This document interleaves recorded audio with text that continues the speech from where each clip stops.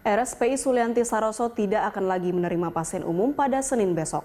Hal itu dilakukan untuk mengantisipasi lonjakan pasien yang terinfeksi virus corona di Indonesia. Rumah Sakit Penyakit Infeksi Sulianti Saroso mulai Senin akan melakukan eskalasi dan tidak melayani rawat inap.